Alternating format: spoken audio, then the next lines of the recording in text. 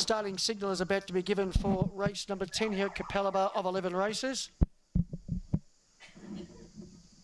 And we won't be too far away from a start. Number six is the favourite here, and that is out of business for Neil Catchpole. It's nine starts for four wins, all of them on this track. Second line of greyhounds are now moving in.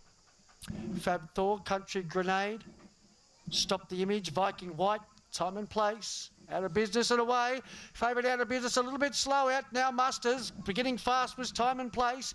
Time and place leads from Viking White, then stop the image and Fab Thor with Country Grenade. Now out of business gets going with Galway Ludwig and Lady Perlita. They're halfway home. Getting going was Viking White in the middle to hit the lead. Out wide, Fab Thor's charging. Fab Thor, Viking White. Fab Thor from Viking White. Third's a photo, Country Grenade or out of business in a great finish. Not far away was time and place. And then we had after that was uh, as they went over the line, Galway Ludwig and Lady Perlita was towards the tail end. And now Masters, beginning fast, was time and place.